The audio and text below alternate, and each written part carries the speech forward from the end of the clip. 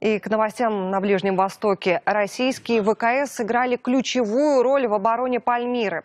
Об этом сообщает сирийское издание «Аль-Масдар». В районе города российская авиация нанесла 64 удара по скоплениям и позициям террористов, а также их резервам. И в результате уничтожили 11 танков и боевых машин пехоты, более 30 джипов с крупнокалиберными пулеметами.